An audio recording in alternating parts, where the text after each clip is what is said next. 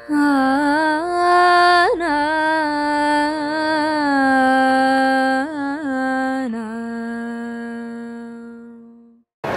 Guruvayur devotees ഓൺലൈനിലേക്ക് ഒരിക്കൽ കൂടി എല്ലാവർക്കും സ്വാഗതം. ഞാൻ സവിതാ രാജ്കുമാർ ഗുരുവായൂർ സ്വദേശിയാണ്. ഇന്ന് തൃക്കാർത്തിക ദിവസമാണ്. അപ്പോൾ എല്ലാവരും അവരവരുടെ ഗൃഹങ്ങളിൽ നിറയെ വിളക്കൊക്കെ കത്തിച്ച് ശ്രീ ഭഗവതിയെ വരവേൽക്കാൻ തയ്യാറായി എന്ന് തോന്നുന്നു.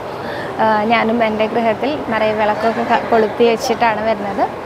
അമ്പലത്തിന്റെ നടയിൽ പ്രത്യേകിച്ചൊന്നുമില്ല കേട്ടോ. സാധാരണ ഒരു ദിവസം പോലെ തന്നെയാണ്. കുറച്ചും കൂടെ തിരക്കൊക്കെ അമ്പലത്തിന്റെ അമ്പലത്തിലെ തിരക്കൊക്കെ ഒഴിഞ്ഞു. സാധാരണ പോലെയായി. ഇപ്പോൾ അവധി ദിവസവും കഴിഞ്ഞു. ഏകാദശിയും കഴിഞ്ഞു. ഇപ്പോൾ നോർമൽ ഡേയ്സിന്റെ പോലെ തന്നെ ആയി മണ്ഡലകാലമാണ് എന്നുള്ള പ്രത്യേകത ഉണ്ട്. അതുകൊണ്ട് തന്നെ വൈകുന്നേരം മൂന്നര മണിക്കാണ് ഇപ്പോൾ നട തുറക്കുന്നത് കേട്ടോ. അപ്പോൾ ഇന്നത്തെ ചോദ്യത്തിലേക്ക് കിടക്കാം. ഇന്ന് ഒരു ഭക്തൻ ചോദിച്ചിട്ടുണ്ട് തുലാഭാരം വഴിപാട് നടത്താനായിട്ട് മുൻകൂട്ടി ബുക്ക് ചെയ്യണോ? അത് ഇന്ന് ഏത് ദിവസം വന്നാലും തുലാഭാരം നടത്താൻ സാധിക്കുമെന്ന്? നട തുറന്നിരിക്കുന്ന എല്ലാ സമയത്തും തുലാഭാരം നമുക്ക് നടത്താൻ സാധിക്കും. അതിനെ മുൻകൂട്ടി നമ്മൾ ബുക്ക് ചെയ്യേണ്ട ആവശ്യമൊന്നുമില്ല. പിന്നെ എന്താണെന്ന് വെച്ചാൽ സ്പെഷ്യലായിട്ട് എന്തെങ്കിലും വസ്തുക്കൾ കൊണ്ടാണ് നമുക്ക് തുലാഭാരം നടത്തുന്നതെങ്കിൽ നമ്മൾ നമ്മൾ തന്നെ അത് കൊണ്ടുവരണം. ഇപ്പോൾ ഉദാഹരണം പറയുകയാണെങ്കിൽ ഇപ്പം നമുക്ക് സാധാരണയായിട്ട് നടത്തുന്ന പഞ്ചസാര ശർക്കര അവിൽ മലര് എള്ള് മഞ്ഞൾ അങ്ങനെയുള്ള സാധാരണ സാധനങ്ങളെല്ലാം ഇവിടെ തന്നെ ദേവസ്വത്തിന്റെ കീഴിൽ തന്നെ എല്ലാം നമുക്ക് ലഭ്യമാണ്. അപ്പം നമുക്ക് പ്രത്യേകിച്ച് ഒന്നും വേണ്ട നമ്മൾ പോവുക. ഇന്ന സാധനം കൊണ്ടാണ് നമ്മൾ തുലാഭാരം തൂക്കാൻ ഉദ്ദേശിക്കുന്നത് എന്ന് പറയാം. അതുകൊണ്ട് നമ്മൾ തുലാഭാരം വഴിപാട് നടത്തി എത്ര കിലോ വെയിറ്റിനനുസരിച്ച് എത്രയാണ് തുക എങ്കിൽ അത് അടയ്ക്കുക. അത്ര മാത്രമേ ചെയ്യേണ്ടതുള്ളൂ. അതല്ലാതെ ഇപ്പം നമ്മൾക്ക് ഇതൊന്നുമല്ലാതെ ഏതെങ്കിലും പുതിയ വസ്തുക്കൾ കൊണ്ട് നമ്മൾ നേർന്നിട്ടുണ്ടെങ്കിൽ അത് നമ്മൾ നമ്മളായിട്ട് തന്നെ അറേഞ്ച് ചെയ്യേണ്ടി വരും. ഉദാഹരണം പറയുകയാണെങ്കിൽ ഇപ്പം നെല്ലിക്ക കൊണ്ട് തുലാഭാരം വേണമെങ്കിൽ നെല്ലിക്ക നമ്മൾ വാങ്ങിക്കൊണ്ടുവരണം. അതുപോലെ തന്നെ പാൽപ്പായസം കൊണ്ട് തുലാഭാരമാണെങ്കിൽ ദേവസ്വത്തിൽ മുൻകൂട്ടി അറിയിക്കണം. കാരണം പാൽപ്പായസം അകത്ത് ഉണ്ടാക്കാനുള്ള സമയം അവർക്ക് നൽകണമല്ലോ അതുപോലെ നിവേദ്യം കൊണ്ട് പാൽപ്പായസം കൊണ്ട് അങ്ങനെ എന്തുകൊണ്ട് എന്തെങ്കിലും പ്രസാദം കൊണ്ടാണ് നമ്മൾ വഴിപാ തുലാഭാരം നേർന്നിരിക്കണമെന്ന് വെച്ചാൽ അത് മുൻകൂട്ടി തന്നെ പറയണം. ഏകദേശം നമ്മളുടെ വെയിറ്റ് എത്രയാണെന്നുള്ളതും കൂടെ പറഞ്ഞു കൊടുക്കണം കേട്ടോ. അപ്പോൾ അതിനനുസരിച്ചാണ് അവർക്ക് ആ സാധനങ്ങൾ ഉണ്ടാക്കാൻ സാധിക്കുള്ളൂ.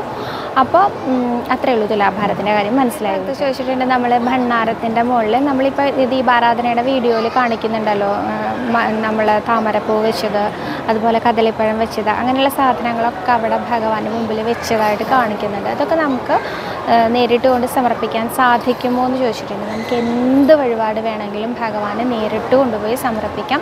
മറ്റൊരു അമ്പലത്തിലും ഇല്ലാത്ത ഒരു പ്രത്യേകത തന്നെയാണ് ഗുരുവായൂർ. നിങ്ങൾക്ക് വന്നവരിൽ എത്ര പേര് ശ്രദ്ധിച്ചിട്ടുണ്ടെന്ന് എനിക്കറിയില്ല. കിഴക്കേ ഗോപുരത്തിന്റെ കിഴക്കേ ഗോപുരത്തിലെ കൊടു കൊടിമരത്തിന്റെ ചുവട്ടിൽ ഒരു ഭണ്ഡാരുണ്ട് ആ ഭണ്ഡാരത്തിന്റെ മുകളിൽ ഒരുപാട് കാഴ്ച വസ്തുക്കൾ ഭഗവാന് സമർപ്പിച്ചതായിട്ട് നമുക്ക് കാണാൻ സാധിക്കും. ഇതെല്ലാം തന്നെ കിഴക്കേ നടയിൽ തന്നെയുള്ള അതായത് ചുറ്റമ്പലത്തിനകത്താട്ടോ ഞാൻ പറയണത് ചുറ്റമ്പലത്തിനകത്ത് ദീപസ്തംഭത്തിന്റെ ചുവട്ടിലായിട്ട് വെജിറ്റബിൾസ് ആയിട്ടും അതുപോലെ ഫ്രൂട്ട്സ് ആയിട്ട് അതുപോലെ പുതിയ പുതിയ എന്ത് വസ്തുക്കളാണെങ്കിലും ഭഗവാന് നമ്മൾ സന്തോഷത്തോടു കൂടിയിട്ട് നമുക്ക് ആ ഭണ്ണാരത്തിന്റെ മുകളിൽ തന്നെ കൊണ്ടുപോയി സമർപ്പിക്കാം. നമ്മുടെ സ്വന്തം കൈയാൽ നമുക്ക് സമർപ്പിക്കാം. നിവേദ്യ സാധനങ്ങൾ മാത്രമാണ് പുറത്തുനിന്ന് എടുക്കില്ല എന്ന് പറയുന്നത് നിവേദ്യ സാധനങ്ങളെല്ലാം ഭഗവാന് ഇവിടെ തന്നെ ഉണ്ടാക്കുന്നത് മാത്രമേ അകത്ത് നിവേദിക്കുള്ളൂ. പക്ഷെ നമുക്ക് പല ആളുകളും പച്ചക്കറികളെല്ലാം അവരുടെ തന്നെ തോട്ടത്തിലുണ്ടായിട്ടുള്ള പച്ചക്കറികളായിരിക്കാം. അല്ലെങ്കിൽ അവർ വഴിപാടായിട്ട് നേർന്ന് വഴിപാടായിട്ട് നേർന്നതായിരിക്കാം. അങ്ങനെ നമുക്ക് ഇഷ്ടമുള്ള എന്ത് കാണിക്ക വസ്തുവായാലും ഭഗവാനെ ആ ഭണ്ണാരത്തിന്റെ മുകളിൽ നമുക്ക് കൊണ്ടുപോയി സമർപ്പിച്ച് തൊഴുത് നമസ്കരിക്കാം. പക്ഷെ നമ്മുടെ ദീപാരാധനയുടെ വീഡിയോയിൽ കാണിക്കുന്നത് ചുറ്റമ്പലത്തിലും അല്ല പുറത്തുള്ള ദീപസ്തംഭത്തിന്റെ അടുത്തുള്ള ഭണ്ഡാരത്തിന്റെ മുകളിൽ സമർപ്പിച്ചിട്ടുള്ള സാധനങ്ങളാണ് നമ്മൾ നമ്മുടെ ദീപാരാധനയുടെ വീഡിയോയിൽ കാണിക്കണം അവിടെ ആയാലും നമുക്ക് സമർപ്പിക്കാം കാരണം പല ആളുകൾക്കും ചിലപ്പോൾ ചുറ്റമ്പലത്തിലേക്ക് പോലും പ്രവേശിക്കാൻ സാധിക്കുന്നുണ്ടാവില്ല അവർ എന്തെങ്കിലും തിരക്കിൽ ആയിരിക്കാം. വന്ന് വരുന്നതും അതുപോലെ തന്നെ തിരിച്ചു പോകുന്നതും. അപ്പോൾ അവർ ഭണ്ഡാരത്തിന്റെ മുകളിൽ പുറത്ത് സമർപ്പിച്ചിട്ട് പോകാറുണ്ട്.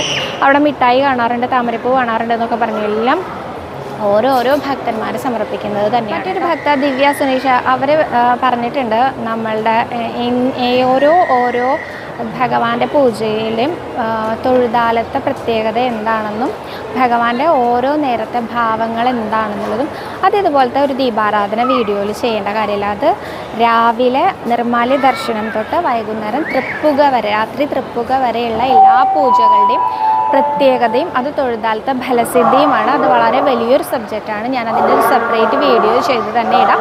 ഗുരു ഡിവോട്ടീസ് ഓൺലൈനിലൂടെ നിങ്ങളെല്ലാവരും കാണണം. ഞാൻ ഉടനെ തന്നെ ചെയ്യാം. മാത്രമല്ല ദിവ്യ പറഞ്ഞിട്ടുണ്ട് ഇൻസ്റ്റാഗ്രാം പേജിലൊക്കെ വളരെ ആക്റ്റീവാണെന്ന് അപ്പോൾ നമ്മളുടെ ഇൻസ്റ്റാഗ്രാം പേജിന്റെ Guruvayur devotees online Instagram page തീർച്ചയായിട്ടും ഫോളോ ചെയ്യണം. അതിലും നമ്മളുടെ ഗുരുവായൂരപ്പന്റെ എല്ലാ വീഡിയോസും നമ്മൾ അപ്ലോഡ് ചെയ്യുന്നുണ്ട്. അപ്പോൾ കാണണം കേട്ടോ. ഇതുപോലെ തന്നെ ഞാൻ മുൻപേ നിങ്ങൾക്ക് ഒരു പ്രോമിസ് ചെയ്തിരുന്നു. ഭജന ഇരിക്കുന്നത് എങ്ങനെയാണ് എന്നുള്ളത് ഞാനൊരു സെപ്പറേറ്റ് വീഡിയോ ചെയ്യാമെന്ന് ഇതുവരെ ഞാൻ ചെയ്തിട്ടില്ല. പക്ഷേ ഉടനെ തന്നെ രണ്ട് വീഡിയോയും ചെയ്യാം കേട്ടോ. ഇതുപോലെ ഓരോ അത് ഒരുമിച്ച് ഒരു വീഡിയോ ആയിട്ട് വേണമെങ്കിൽ ചെയ്യാം. അതല്ലെങ്കിൽ രണ്ട് വീഡിയോ ആയിട്ട് തന്നെ ചെയ്യാം. എത്രയും പെട്ടെന്ന് ചെയ്യാം. ഞാൻ ലിങ്ക് താഴെ കൊടുക്കുന്നതായിട്ട് ഒരു ഭക്തൻ മനു സുനിൽ ചോദിച്ചിട്ടുണ്ട് താലി പൂജിക്കുന്നത് എങ്ങനെയാണ്? വിവാഹം ഷീട്ടാക്കുമ്പോൾ നമ്മളെങ്ങനെ താലി പൂജിക്കുക എന്നുള്ളത്. താലി പൂജ എന്ന് പറഞ്ഞിട്ട് തന്നെ ഒരു റെസിപ്റ്റ് എടുക്കാനുണ്ട്. ആ റെസിപ്റ്റ് എടുത്തതിന് ശേഷം നാലമ്പലത്തിൽ ചുറ്റമ്പലത്തിലല്ല നാലമ്പലത്തിനകത്ത് ഗണപതിയുടെ പുറകിലായിട്ട് ഓദിക്കന്മാരോ അല്ലെങ്കിൽ മേൽശാന്തിയോ നേരിട്ട് അവിടെ ഇരിക്കുന്നുണ്ടാവും പ്രസാദം നൽകാനായിട്ട്. അദ്ദേഹത്തിന്റെ കയ്യിൽ ഈ താലി പൂജിക്കാനുള്ള താലിയും ഈ റെസിപ്റ്റും ദക്ഷിണയും കൂടി കൊടുത്തു കഴിഞ്ഞാൽ അദ്ദേഹം താലി ശ്രീലകത്ത് കൊണ്ടുപോയി പൂജിച്ചിട്ട് നമുക്ക് അപ്പം തന്നെ തരും കേട്ടോ ആരെങ്കിലും ഒരാൾ എന്തായാലും നാലമ്പല ദർശനത്തിന്റെ സമയത്ത് എന്തായാലും ഈ ഒരു ഗണപതിയായിട്ടുള്ള ഗണപതിയുടെ പുറകിൽ പുറകുവശത്തായിട്ട് ഒയ്ക്കന്മാരോ ഒതുക്കന്മാരോ അല്ലെങ്കിൽ മേൽശാന്തിയോ ഇരിക്കുന്നുണ്ടാവും. അദ്ദേഹത്തിനെ കണ്ടാൽ മതി. താലിയുടെ റെസി താലി പൂജയുടെ റെസിപ്റ്റ് എടുത്തതിന് ശേഷം. അപ്പോൾ അത് മനസ്സിലായി. ഒരു ഭക്തൻ ചോദിച്ചിരിക്കുന്നത് തൃപ്പുകയുടെ ഡീറ്റെയിൽസ് ഒക്കെ പറയാൻ സാധിക്കുമെന്നാണ് ഞാൻ ഈ പറഞ്ഞില്ലേ. രാവിലെ തൊട്ട് വൈകുന്നേരം വരെയുള്ള ഓരോ പൂജയുടെയും വീഡിയോ ഞാൻ ചെയ്യാൻ ഒരുമിച്ചെന്ന് അതിൽ ഞാൻ തൃപ്പുകയുടെ എല്ലാ ഡീറ്റെയിൽസും പറയാം കേട്ടോ. കാരണം ഒരു ഒരുമിച്ച് ഒരു വലിയ സബ്ജക്റ്റ് അല്ലേ? അപ്പോൾ ഒരുമിച്ച് തന്നെ പറയാൻ കരുതി. അതുകൊണ്ട് തൃപ്പുകയുടെ ഡീറ്റെയിൽസ് നമുക്ക് ആ ഒരു വീഡിയോയിൽ ഉൾപ്പെടുത്താം. അതിന്റെ ലിങ്കും ഞാൻ മറ്റൊരു ഭക്തൻ ചോദിച്ചിട്ടുണ്ട്. നമ്മൾ ഉത്സവകാലത്ത് ഭഗവാൻ ആറാട്ടിന്റെയും പള്ളിവേട്ടയുടെയും ദിവസങ്ങളിൽ പുറത്തേക്ക് എഴുന്നള്ളിപ്പുണ്ട്. ഭഗവാന്റെ. ദേശ ദേശ ദേശക്കാരെ മുഴുവൻ ഭഗവാൻ നേരിട്ട് എഴുന്നള്ളി കാണുന്നു എന്നാണ് അതിന്റെ ഒരു വിശ്വാസം. അപ്പോൾ ഭഗവാൻ നേരെ ഇറങ്ങിയിട്ട് ഫളപ്രദക്ഷിണമായിട്ട് തിരിച്ച് ഭഗവതി ഭഗവതിക്കെട്ടിലൂടെ അകത്തേക്ക് പ്രവേശിക്കുന്ന ചടങ്ങാണത് വൈകുന്നേരം ആറരയ്ക്ക് തുടങ്ങി ഒൻപത് മണി വരെ എഴുന്നള്ളിപ്പുണ്ട് അഞ്ചാനയോട് കൂടിയിട്ട്. ഈ എഴുന്നള്ളിപ്പ് ഏകദേശം വടക്ക് പടിഞ്ഞാറ് ഭാഗത്തായി കുളത്തിന്റെ വശത്തെത്തി കഴിഞ്ഞാൽ ഒരു അഞ്ച് മിനിറ്റോളം മേളം മുഴുവൻ നിർത്തിവെച്ച് സൈലന്റായിട്ട് അവിടെ നിർത്തിവെക്കും അപ്പോൾ അത് എന്ത് കാരണത്തിനാണ് അങ്ങനെ നിർത്തുന്നത് എന്നാണ് ഭക്തന്റെ ചോദ്യം. അത് പണ്ട് കാലത്ത് ഭഗവാന്റെ പരിചാരകരായിരുന്ന ഒരു നമ്പീശൻ ഫാമിലി നമ്പീശൻ കുടുംബത്തിൽപ്പെട്ട കണ്ടിയൂർ പട്ടത്ത് എന്ന് പറഞ്ഞ ഒരു നമ്പീശൻ കുടുംബത്തിൽപ്പെട്ട ഒരു നമ്പീശൻ ഉണ്ടായിരുന്നു. ദേവസ്വത്തിന്റെ കീഴിൽ വരുന്ന പാട്ടഭൂമിയിൽ നിന്നുള്ള പാട്ടപ്പിരിവുകളൊക്കെ നടത്തിയിരുന്ന കർക്കശ കർക്കശക്കാരനായിട്ടുള്ള ഒരു ഉദ്യോഗസ്ഥനായിരുന്നു അദ്ദേഹം. അപ്പോൾ അദ്ദേഹത്തിന്റെ അദ്ദേഹം വളരെ കണിശമായിട്ട് മറ്റു ആളുകളിൽ നിന്നും ഈ പാട്ടപ്പിരിവ് ഭഗവാന്റെ പിരിവ് നടത്തിയിരുന്നു. അത് ദേവസ്വത്തിന്റെ വഹ വഹകളിൽ ഉണ്ടായിരുന്ന പിരിവ് എന്നാണ് പറയില്ലേ? അതായിരുന്നു ഉണ്ടായിരുന്നത്. അത് പണ്ട് കാലത്ത് ഉണ്ടായിരുന്നതാട്ടോ അപ്പോൾ ആ ഒരു പിരിവ് നടത്തുമ്പോൾ ബാക്കിയുള്ള എല്ലാവർക്കും അദ്ദേഹത്തിനോട് ഭയങ്കര ദേഷ്യം തോന്നി. പക്ഷേ അദ്ദേഹം വളരെ ആത്മാർത്ഥമായിട്ട് ഇത് ഭഗവാന്റെ സ്വത്താണ് എന്ന രീതിയിൽ കൈകാര്യം ചെയ്തിരുന്നതാണ്. പക്ഷേ ഇത് പിരിക്കാൻ ചെന്നിരുന്ന ആളുകൾക്ക് അദ്ദേഹത്തിനോടുള്ള വൈരാഗ്യം കൂടി കൂടി വന്ന് അവരെല്ലാവരും കൂടി അദ്ദേഹത്തിനെ വകവരുത്തി എന്നാണ് പറയുന്നത്. അപ്പോൾ ആ വകവരുത്തിയപ്പോൾ ആ ഒരു കുടുംബത്തിൽ എന്താ പറയുക കുടുംബത്തിൽ കണ്ടിയൂർപ്പട്ടത്തെ നമ്പീശന്റെ ഫാമിലി വളരെ ബുദ്ധിമുട്ടിലായി. അപ്പോൾ ഭഗവാന് ഈ ഒരു വാർത്ത നടന്ന സമയത്ത് ഭഗ ആനകൾക്ക് നീങ്ങാൻ പറ്റാത്തൊരവസ്ഥയായി.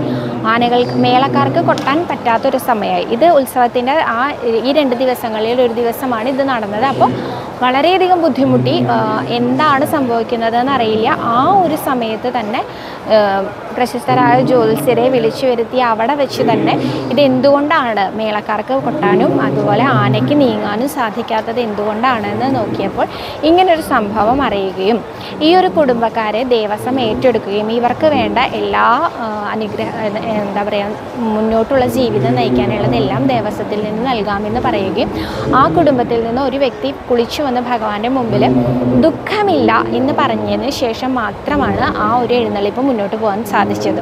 അപ്പോൾ ഇങ്ങനെ ദുഃഖമില്ല എന്ന് പറയുന്ന ആ ചടങ്ങ് ഇന്നും നടന്നു വരികയാണ്. അവിടെ എത്തിക്കഴിഞ്ഞാൽ മേളം സൈലന്റായി കുറച്ച് നേരം നിർത്തി വെച്ചതിന് ശേഷം ഈ ഒരു നമ്പീശൻ വന്ന് കുളിച്ചു വന്നിട്ട് ഭഗവാന്റെ മുമ്പിൽ ദുഃഖമില്ല ദുഃഖമില്ല ദുഃഖമില്ല എന്ന് മൂന്ന് തവണ പറയണം. മൂന്ന് തവണ പറഞ്ഞതിന് ശേഷം മാത്രമേ വീണ്ടും മേളം ആരംഭിക്കുള്ളൂ ആനയ്ക്ക് നടക്കാൻ സാധിക്കുള്ളൂ എന്നാണ് ഇപ്പോഴത്തെ വിശ്വാസം.